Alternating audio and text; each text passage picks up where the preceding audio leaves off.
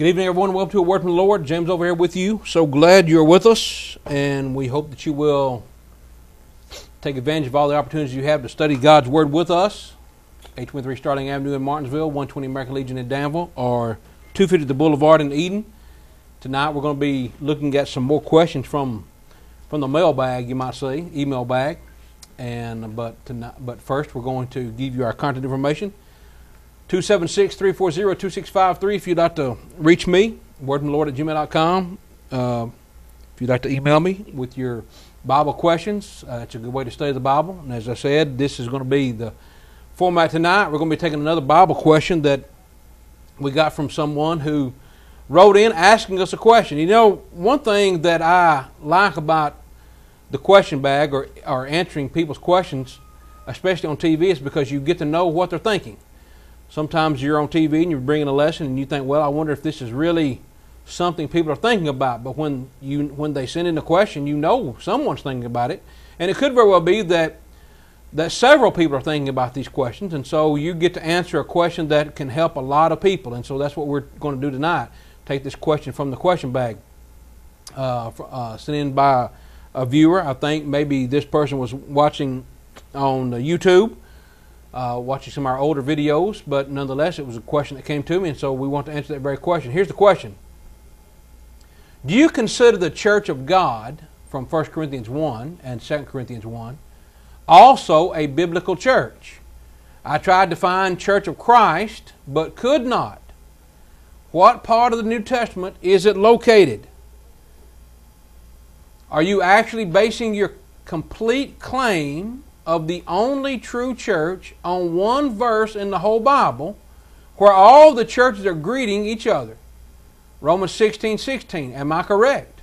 If it were the only true church, why were they not corrected in Scripture? Well, a lot of good questions there.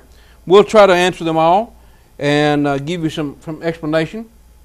And uh, just to answer the first part, Yes, I believe the church that Church of God, the Church of God, is a scriptural name. No doubt about it. The Bible is uh, full of instances where the church is called the Church of God. But here's the thing, and maybe the maybe the writer doesn't realize this, but there's only one kind of church in the Bible. So when you're talking about one kind of church, then you have to stop and think, well, maybe it's being identified as different ways.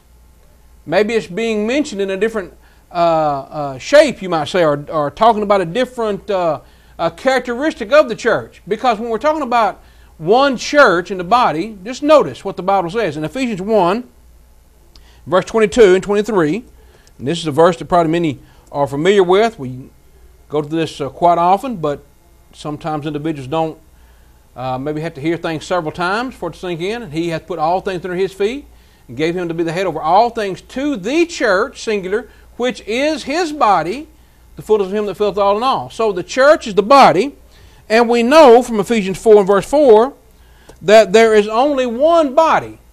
So if there's only one body, all right, one body, Ephesians 4 and verse 4.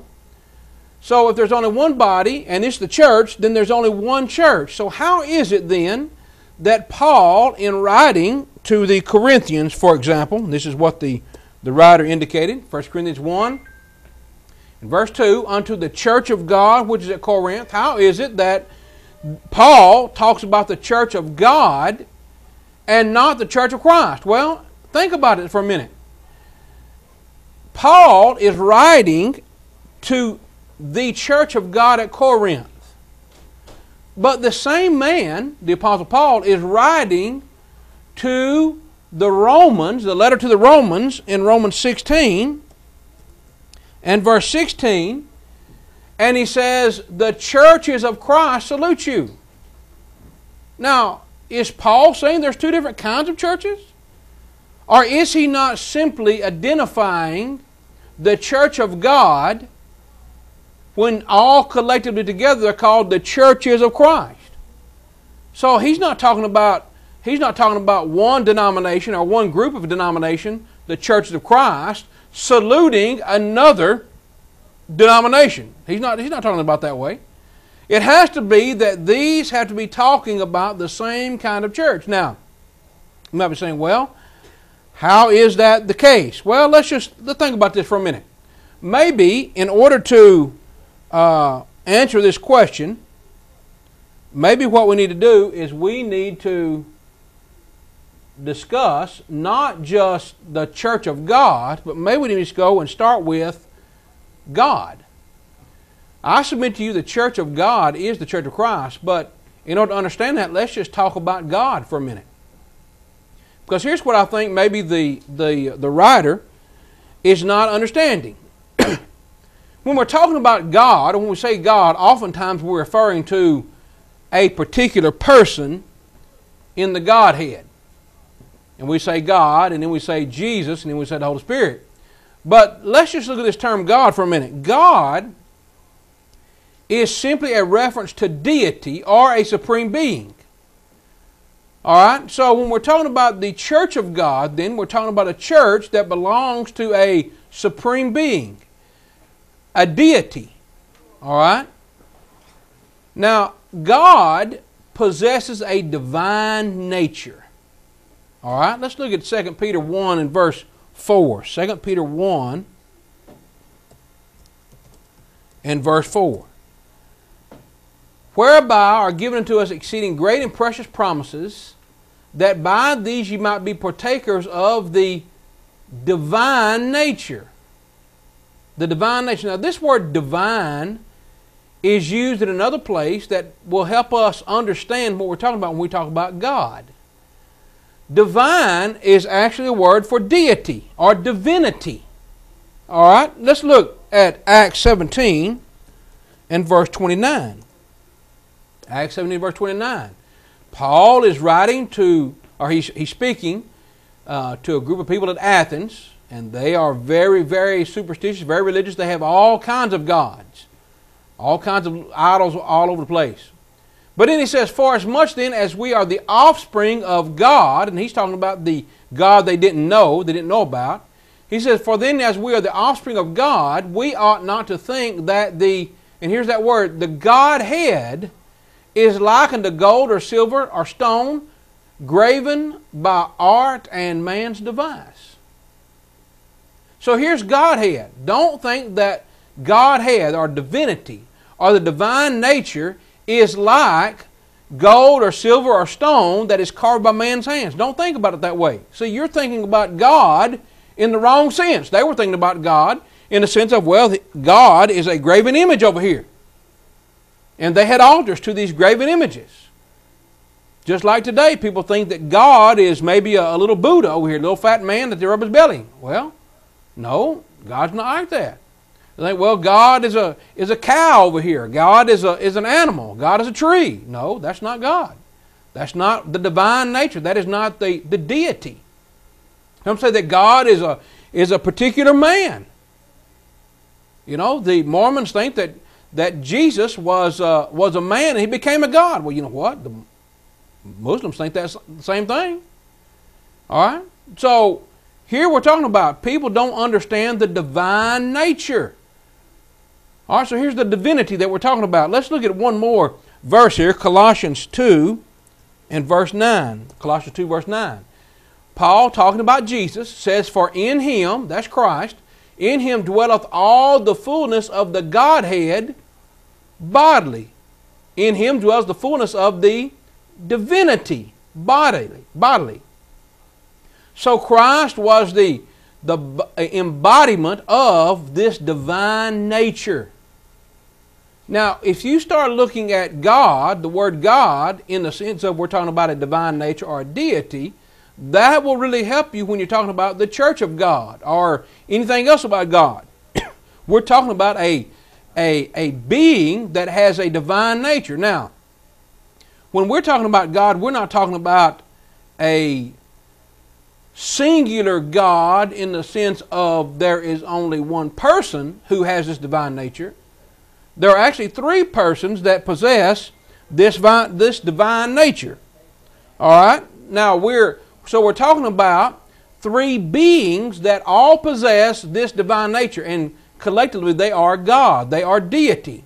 And there is only one divine nature that is possessed by these three beings. Now, I know they're individuals, Muslims, uh, apostolics, talk about there's only one God, and they're monotheistic, and they think that when they say monotheistic, they mean there's only one God and there's only one person of God.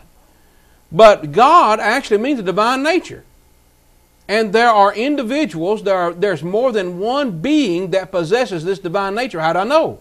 Because I know when I start reading the Bible, from the very outset, in Genesis chapter 1, the Bible says, In the beginning, God created the heavens and the earth.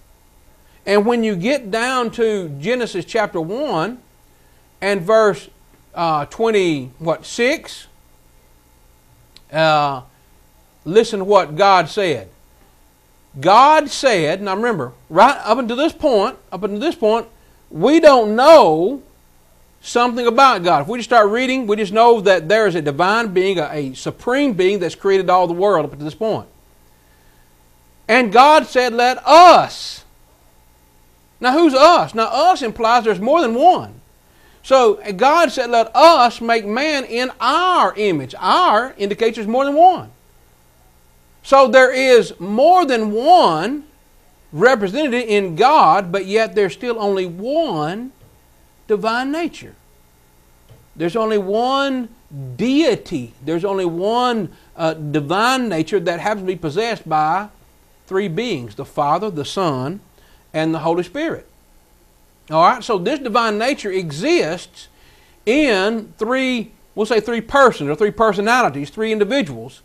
But there's still only one God, one divine nature, but yet three beings possess that divine nature. God the Father. John 1, verse 18. John 1 and verse 18.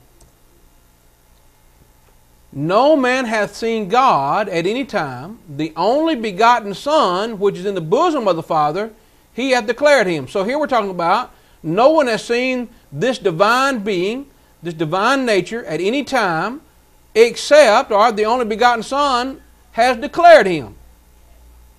So we're seeing that here is God the Father, God the Father that's being talked about. So here is one, uh, what? One person that possesses this divine being, God the Father. The Father who is deity, the Father that possesses divine nature. And He is the Father in the sense of another person of the Godhead has become His Son. All right? In the beginning was the Word. If we go back to John chapter 1, in the beginning was the Word. The Word was with God, and the Word was God. The Word was divine. The Word was deity. And the same was in the beginning with God. All things were made by Him, and without Him was not anything made that was made. In Him was life, and the life was the light of men. Now let's come on down. Let's come on down to verse uh, uh, 14. And the Word, what? The Word was made flesh and dwelt among us. So here is deity what came became flesh. The divine nature became flesh, was made flesh, and he, and he dwelt among us. And we beheld his glory, the glory of the only begotten of the Father, full of grace and truth. So here you have you have the the the Father, the Father and the Word existing, and both are deity. Both, both are divine. Well, there wasn't a uh, God the Father until there was God the Son. So that just like I, I was not always a father. But I became a father when I had a child.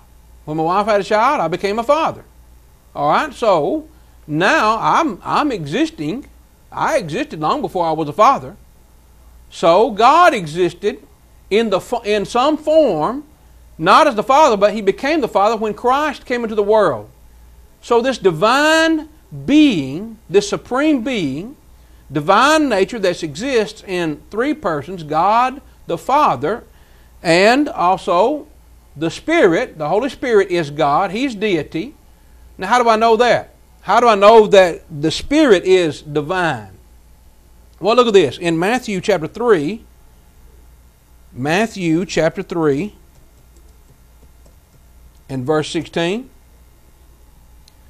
Jesus, when he was baptized, went up straightway out of the water, and lo, the heavens were opened unto him, and he saw the Spirit of God descending like a dove. Well, this is the Spirit of this divine nature. So, what we're talking about? We're talking about another person that possesses this divine nature. So, the Spirit is divine, deity, and so is Christ. Christ has this divine nature as well. So, all of these individuals, all of these, these persons, you might say, these beings, all possess this divine nature. You have God the Father, God the Holy Spirit, and God the Son.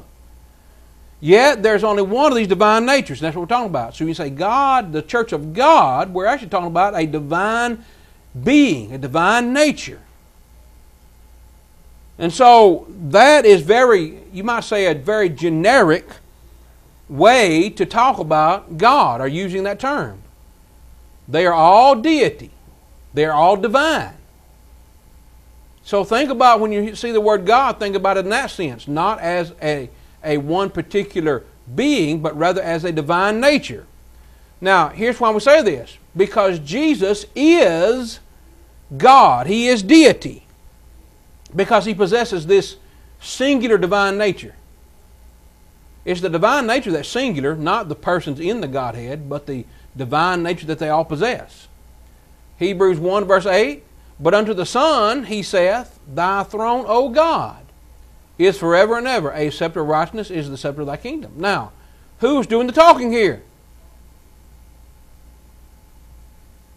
God the Father. The Father who has, who has a divine nature, who possesses this divine nature, says unto the Son, Thy throne, O God. So here Christ is the Son, but yet he still is referred to as God, as deity, as divine. All right? Jesus is God. He's God. And Jesus then said, what belongs to him also belongs to God the Father. Why? Because they all have the same divine nature. John 17, verse 10 All mine are thine, and thine are mine, and I am glorified in them. Now, I hope I'm not going too fast here. If there's if I have any questions, I'll tell you what, uh, Matt, we're, we'll go a little bit early. Go ahead and put the phone lines up. But you hear what we're saying? See what we're saying, friends? We're talking about a divine nature, a deity. And so the church of God is referencing not a denomination, not a particular uh, religious sect over here that you might see going down the highway or in the yellow pages, but we're talking about a church that belongs to a divine being, a deity. And Jesus said that what is mine is thine, and thine are mine. So Jesus and the Father, Jesus, God the, the Son, and God the Father, are united in this in this one aspect. They have they share the same thing. Whatever is Christ belongs to God, whatever belongs to God belongs to Christ. Now, if Jesus then said he is going to build his church but yet what belongs to him also belongs to God. What does that tell us? That tells us that the church that Jesus built also belongs to the Father. Matthew 16, 18. And I say unto thee, Thou art Peter, upon this rock I will build my church, and the gates of hell shall not prevail against it. Whose church was it? Whose church was it that, that Jesus said he was going to build? Well, it was his. Is he deity? Yes. Is he God? Yes. Is he divine? Yes. Are all the things that belong to Him, do they belong to God the Father as well? Yes. That's true. So it is the church of Christ and the church of God all in one, one and the same. Now, what, what church are we talking about here? Well, let's look at this. Let's look at this. In first, sorry about that, get the wrong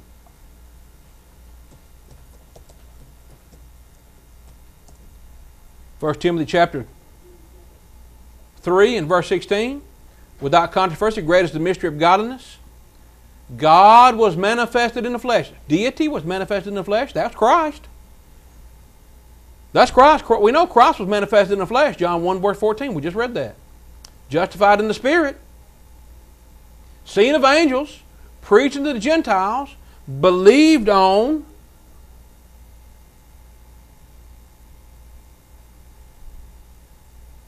let's see here.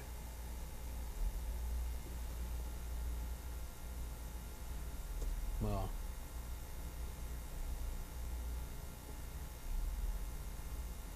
can't get it to go up here.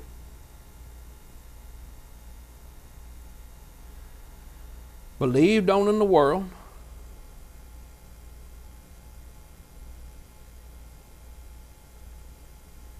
Received up into glory. Sorry, I was, in the wrong verse anyway.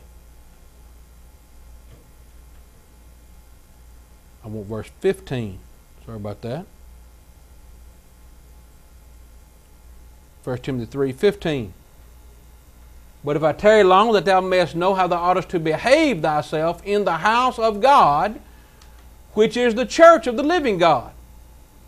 Well, who is being referred to? Who's being referenced here when we're talking about God? The house of God, the house of deity, the divine nature, the house of a divine supreme being, the church of the living God, the pillar and ground of the truth.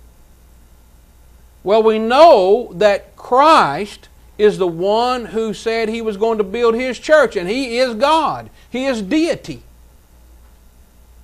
See that? So, we know this has reference to the same church that he built, even though it's called the church of the living God. Now, am I supposed to say, well, uh, the church of Christ is not a, is not a correct name? Because here the Bible says it's the church of the living God. Well, if everything that belongs to Christ belongs to the Father, and everything that belongs to the Father belongs to the Son, and the Son has a church that belongs to Him because He is divine and He is deity, then doesn't it belong to the, the Father as well? See that? So, here's what we're talking about. We're talking about the church that Christ built must belong to the Father as well. So, why not say that it belongs to Christ, why would it not be called the church of Christ, the church that belongs to Christ, if in fact He's the one that bought it? If the church belongs to Christ and He is divine, He is this deity, He possesses divine nature, then it also belongs to the Father who possesses the same divine nature. So it is the church of God. The church of Christ is the church of God. Now, is that really, is that hard? Is that hard to understand? When you're talking about they are one and the same, they they have equality one with another. Then you start to realize, you know what? They the church of God is the church of Christ. The church of God is the church of Christ. Now, let me just go back just for a moment because I want to make sure I get all these questions. I didn't repeat this question here. Uh, I tried to find the church of Christ, but could not. Well, friends, if you found the church in the New Testament, you found the church of Christ. You just happened to find where it was, where it was uh, identified as the church of God, a couple of places, and therefore you said, well, it can't be the church of Christ. But when you stop and think about the when you stop and think about the fact that the church of God is the church of Christ, then you know you found the right one. All right? Now, let's see here. You get back to where we want to be. All right?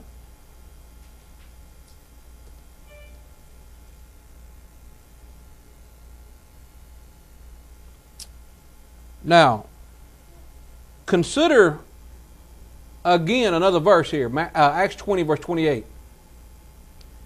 Take heed therefore unto yourselves and to all the flock. Now, this is Paul, and he's writing to the elders of the church at Ephesus. Or he's talking to them, actually. He's not writing to them, he's talking to them. Take heed unto yourself and to all the flock over which the Holy Ghost hath made you overseers, to feed the church of God which he hath purchased with his own blood. Now, specifically, who is it that purchased the church? It's not God the Father. we know it's not the Holy Spirit. It's not the, the, the, the divine Spirit of God that shed his blood. God is a spirit, the Father is a spirit, and they that worship him in spirit and in truth, John 4 24.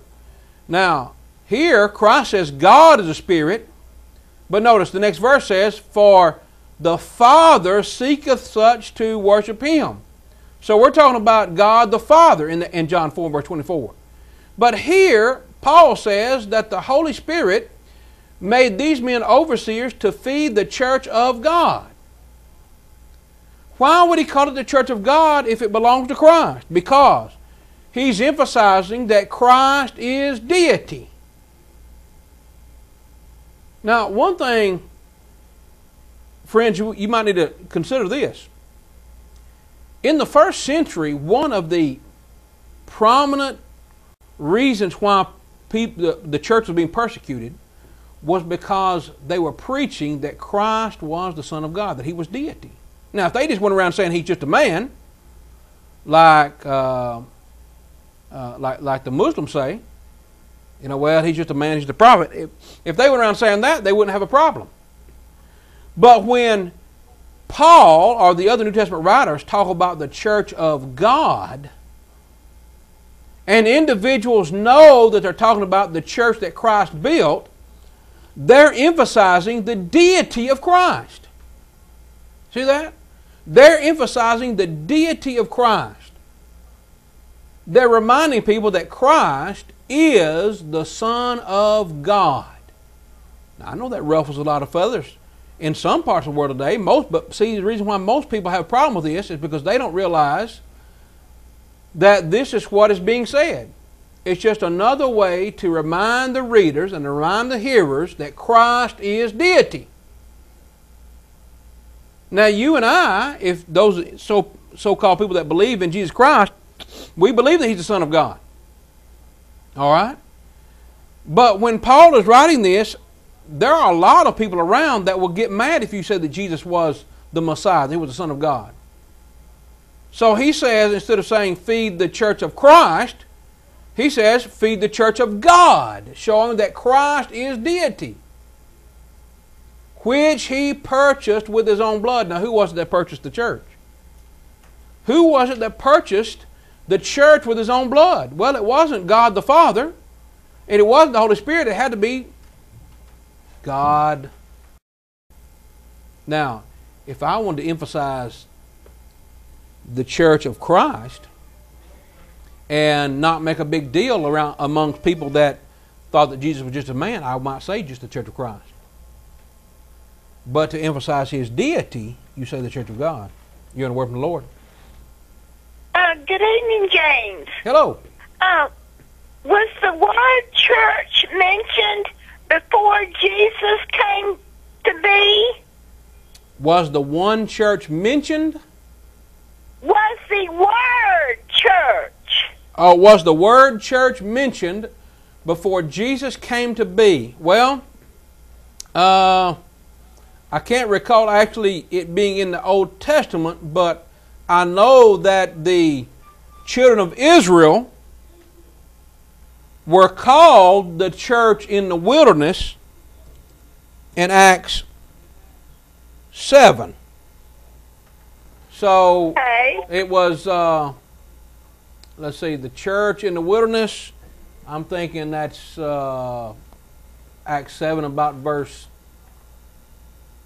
not 13, be on down here about, what, 23, I'm thinking maybe?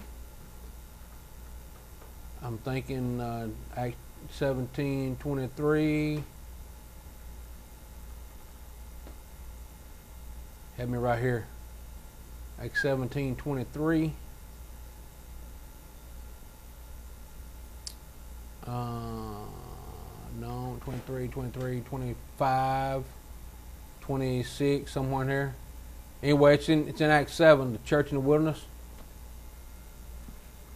Uh, let me just find it in my, my real Bible here. So, so to answer your point, uh, 38. Well, Acts did 7, God Acts 7, 38. have a church before Jesus named his church? Uh, the, the, on this rock I will build my church. Did God, was the world did the world have a church? Now, so, so, so what's the question again? D- did the world did did the world ha- did God own the world as His church before Jesus came? Are you saying the world? Yes, Did- sir. What was Okay. was the was the was the Okay, the church. God did did God have a church before Jesus came? The church, the church was always God's plan for when Jesus came. Now, let me let me show you this. All right. By the way, that's Acts seven thirty eight. The church in the wilderness. The children of Israel wandering in the wilderness were called the church in the wilderness.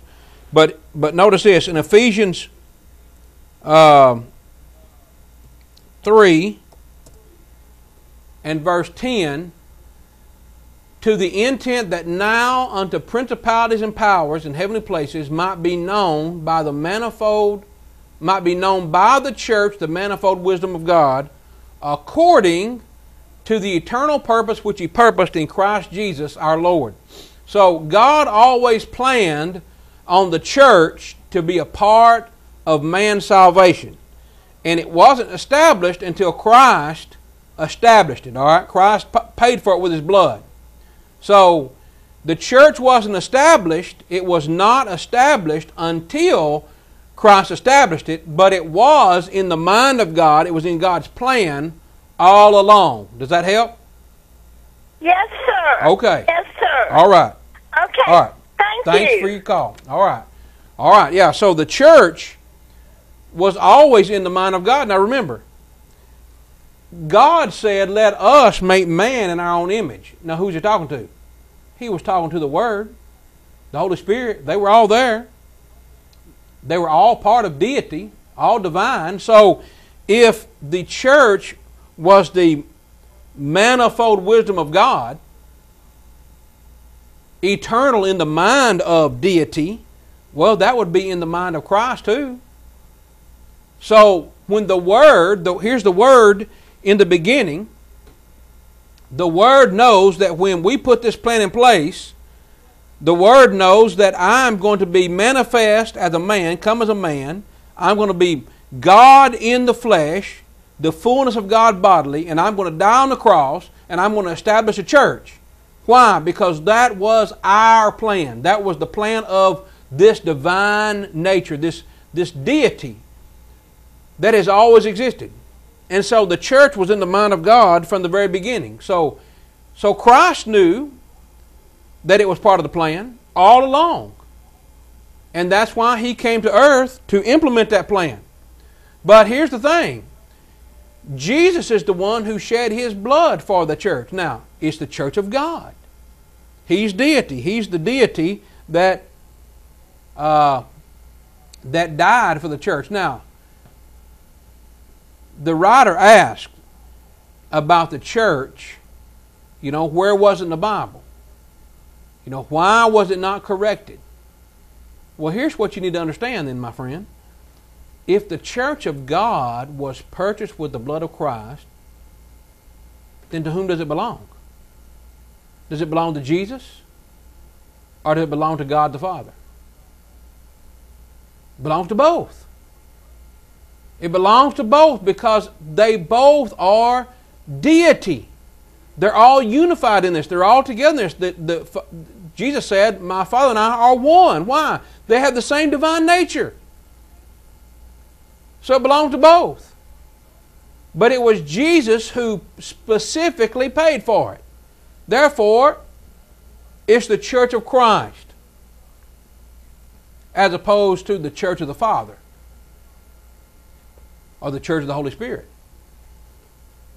And that's why we don't say, well, what about the church of the Holy Spirit? It's never called the church of the Holy Spirit. But when you say the church of God, you're referencing the divine nature that belongs to the Holy Spirit. All right? So when we're talking about the church of God, we're talking about the church of Christ. Now, let me help you out here. Maybe this will help. Talking about the church of God versus the church of Christ. Think about this way God is a general term. It's a broad term because it talks, God could be referencing the, the divinity of the Holy Spirit, the divinity of the Father, or the divinity of Christ, the deity of Christ, the, the deity of the Holy Spirit, or the deity of, God, of the Father. Now, if I said, well, or just say you, you said to me, well, James, I'm going to go to the department store. My grandmother used to say the department store. We're going to the department store. Why? Because it's a, it's a store. It has all these different departments in it. You got the women's clothes, the men's clothes, the kids' clothes over here. You know, if it's like Sears, you just got you know the the softer side of Sears over here, and then you got the lawnmowers and the you know washer and dryers. You got the, all these different departments in it. Right? You go to Walmart. What is it? It's a department store. How do you know? Well, you got women's apparel, men's apparel, kids apparel. You got groceries over here. That's the department. You got department the the electronic department. You got the automotive department, you got the hunting, uh, the sporting goods department, all the different departments, lawn and garden department, different departments. So if you just said a department store, that's that's a very generic term. What store are you going to? I'm going to the department store. Okay. Well, if there was only one department store in town, you would know which one it was. But now if you want to be specific, you'll say, well, I'm going to J.C. Penney. That's a specific department store. See, I'm going to Sears. That's a specific department store, but still it's a department store, right? If I said I'm going to the department store, I might be talking about J.C. Penney or Sears or Walmart, whatever. But if I give specifics, you know exactly which store I'm talking about. Now, let's put that let's put that with the church if Paul says the church of God, he's making reference to the fact that it is a church that belongs to a supreme being, deity. Now, specifically, it belongs to Christ. It's the church of Christ. Now you know exactly which divine being owns the church or bought the church, paid for the church. Now, the reason why the church of God and the church of Christ are the same in the Bible, we'll get to in a minute. But don't think, don't think that, well, James, if I say the church of God, I might be referring to the Baptist church, the Methodist church, whatever church, and then I get specific and say the Baptist church, the Methodist church, the Lutheran church. No, they are not all part of the church of Christ or the church of God for that matter. And here's how I know that. Here's how I know that. Because when the Bible is speaking of the church of God in a general sense, it's telling us who it belongs to a divine being. Specifically, it belongs to Christ. All right? Specifically, it belongs to Christ. But now, you have individuals that will say, well, what about what about all these different churches. Because they're part of the church, they're part of the church too. That's what they'll say. Listen to what this caller says.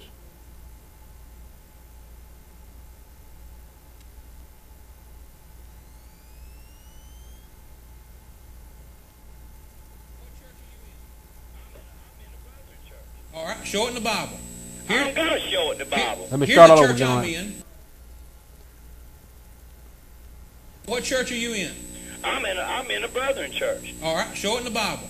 Here, I'm going to show it in the Bible. Here, here's the church I'm in. The Church of Christ. Churches, what church are you in? The Churches of Christ. It says the churches of Christ. Uh, people listening, it says the churches, not the church, the oh. churches of Christ. Wow. That yeah, you got me there. Anybody, the churches of Christ. It says the churches of Christ. Uh, people listening, it says the churches, not the church. All right, so there it is. He said, it says the church is. It says church is of Christ. Well, what does that mean, friends? Does that mean that all these different denominations out here, the Baptist, Methodist, Lutheran, Presbyterian, Brethren, Episcopalian, that they're all part of the church of God? Is that like saying the church of God department store? And then you want to get specific and you say, well, you got the Baptist department store, the Methodist department store, the Lutheran department store, the Brethren department store? No. No. How do I know that? Because in the Bible, the only church that's mentioned in connection with the uh, church of God is the church of Christ. they're all the same. The church of the living God, the church of the firstborn, they're all the same. Talking about the same kind of church. Now, how do I know? How do I know that they're different? Because when you start talking to people about the church in the Bible, they can't find the church they're in in the Bible. They can't find the church they're in in the Bible. I think it's strange. I think this is very interesting that that people are astounded that we're saying that the Bible teaches that there's one church in the Bible and it's the church of Christ which is also the church of God. Listen again what the what the writer says. Are you actually basing your complete claim on the true only of the only true church on one verse in the whole Bible while all the churches are greeting each other? Well, is one verse enough? I mean, how many verses do you need? How many verses do you need? Listen to what, uh, let's see, uh, I'll find this here. Mr. Laws says,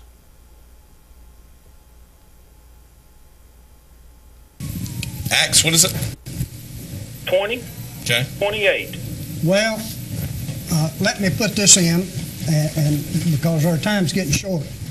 The thing about it is, I'm going to cover what the Word of God says about the church. The word church in the original Greek is the word ecclesia, the called out. It's referred to as the church of God. It's only referred to as the church of Christ, I think, two different times. It's only referred to as the church of Christ, I think, two different times. It's only referred to as the church of Christ, I think, two different times. It's only referred to as the church of Christ, I think, two different times.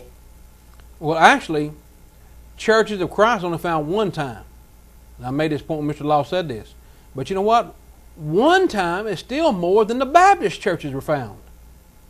You never find a Baptist church in the Bible, but for some reason, for some reason, people are amazed when we say, well, here's a verse that says the churches of Christ salute you. And that's referring to the churches of God that you find somewhere else. We're talking about all the churches of God put together they're also called the churches of Christ. Now, why is that so amazing? Why is that so astounding that that uh, that one verse is all you need? I mean, listen to this.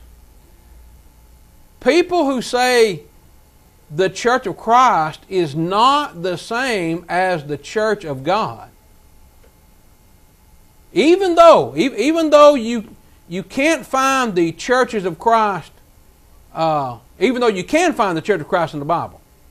All right? They, oh, well, you mean you that's the only church in the Bible? That's the same as the Church of God? You can only find it one place in the Bible? Now, these same people, these same people who don't want us to say the Church of Christ is the same as the Church of God, they then turn around and want to say that all the denominations are part of the Church of God, even though you can't find them in the Bible. Come on, man. Really? Are we supposed to accept that? I can find where the Bible talks about the churches of Christ, Romans 16, 16. I can find in Matthew 16, 18 where Jesus said, Upon this rock I'll build my church meaning it, it, it belongs to Him. And yet, I'm not supposed to say that the church of God is the church of Christ. But yet, I'm supposed to accept the fact that the I'm supposed, to, I'm supposed to accept as fact that the Baptist church, the Brethren church, the Lutheran church, the Presbyterian church, the Episcopalian church, the Methodist church, the Church of Jesus Christ, the firstborn, number seven, is the church of God when I can't find those in the Bible? What's up with that? Well, what's wrong? What's wrong with us? You know? How, how, how can you ever accept that? But see, here's individuals that they just do not want the truth to be said because it hurts them. It hits them. It hits them uh, really, really close here. You might say. Listen to this next man. I want you to listen to this next man talk about the church of Christ and the Baptist church. Let's see if I can find them here. Um, I think I can do it this way.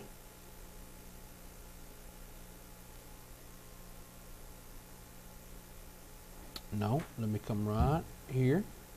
Sorry about this.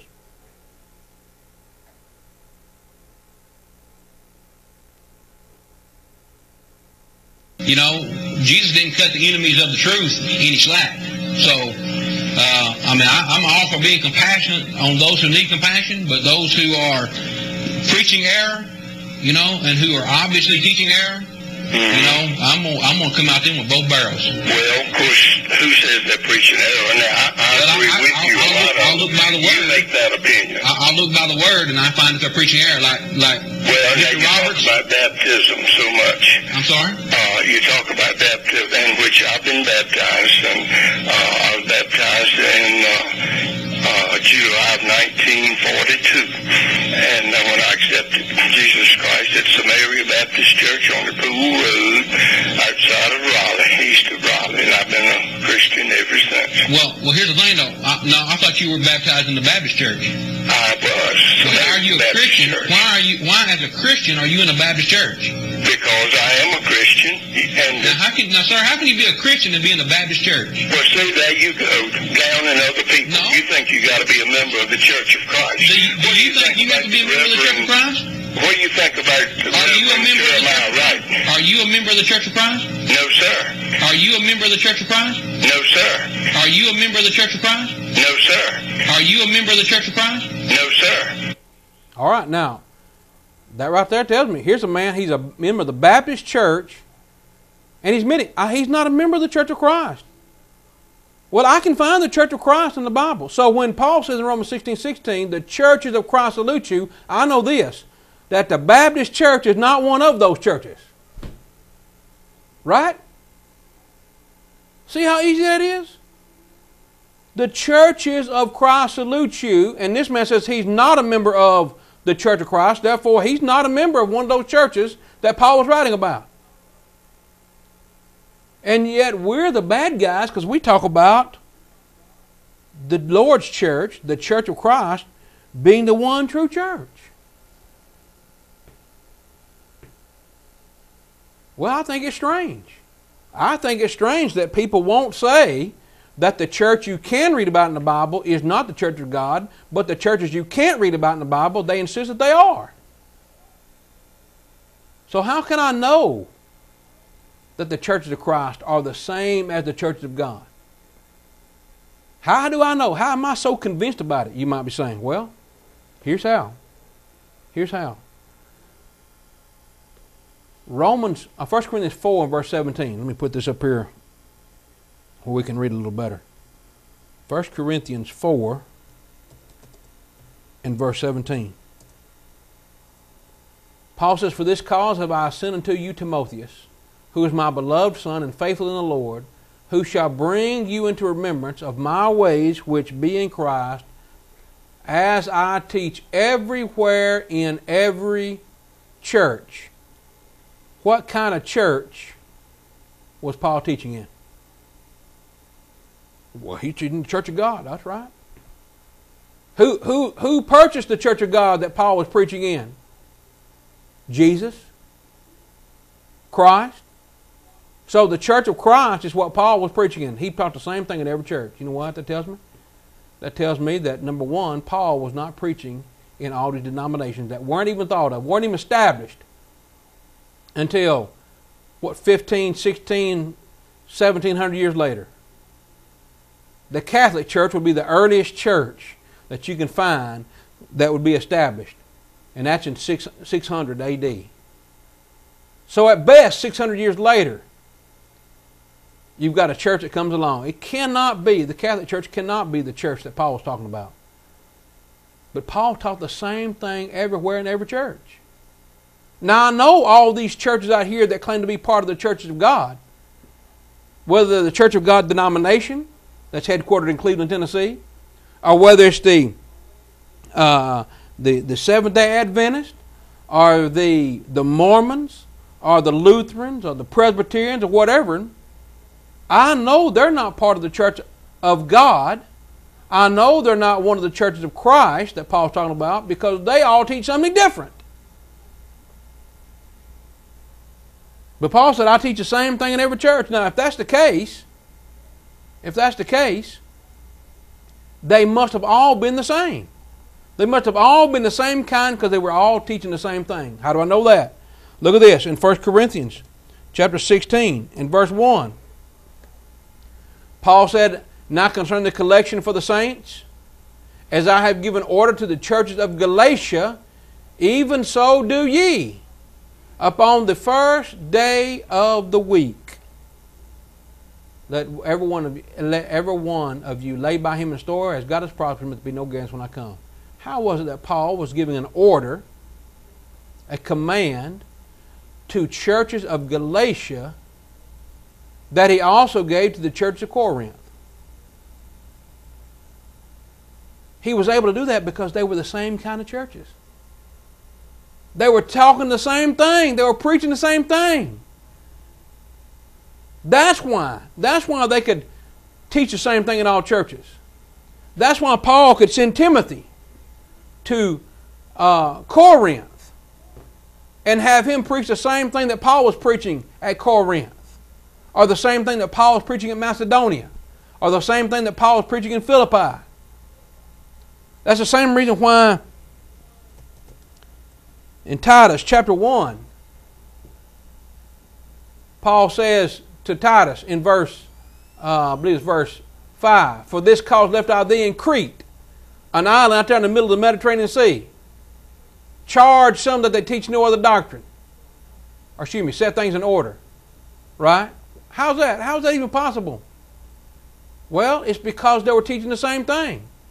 That's why he tells Timothy in 1 Timothy chapter 1 and verse 3. Uh, you are abiding at Ephesus when I went to Macedonia, that thou mightest charge them to teach no other doctrine. Well, well, Paul, don't you know that all these churches are different, so they're going to be teaching different doctrines? No, they're all the same kind of church. They're all the churches of God. They're all the churches of Christ. And that's exactly what Paul calls them in first in Galatians chapter 1 and verse 22. He says, I was unknown by face unto the churches of Judea, which were in Christ. But they all they only knew only that he which persecuted the saints, persecuted us in time past, now preaches the faith that once destroyed. And they glorified God in me. They're all the same kind of churches. So here's the thing. I know that the Church of God and the Church of Christ that you read about in the Bible are the same kind. How do I know that? Because they all taught the same thing. They all had the same thing preached to them. They all allowed the same thing to preach in them. Now, I guarantee you, I couldn't go to a Baptist church and preach the truth of God's Word. I'd be run out. I know that for a fact. Why? Because the Baptist preacher tells me, you don't come preach a different doctrine in here. Well, it's only different because it's the truth and what he's preaching is not. See, Paul gave the same commands to many different churches, so they must have all been the same kind. So here's what we're talking about, friends. The churches in the Bible all look the same in the sense of they all follow the same doctrine. They all walk by the same rule, all mind the same thing. 1 Corinthians 1 and verse 10. And that's why, like in the Bible, you have the, the church at Corinth, 1 Corinthians 1 and verse 2. You have the church at Jerusalem, Acts 15, verse 22, or 11, 22. You have the church of Smyrna, uh, Pergamos, Thyatira, Sardis, Philadelphia. In Revelation, the seven churches of Asia, they're all the same kind of churches. The church at Babylon, Paul, uh, Peter wrote to 1 Peter 5, verse 13. The church at Antioch in, in Acts 13, verse 1. The church at Cenchrea, Romans 16, verse 1. All the same kind of churches. Why? Because they all follow the same doctrine. And if they were all the churches of God, then they were all the churches of Christ. Because there was only one church that Christ built. There's only one kind of church that he paid his blood, shed his blood for, and purchased.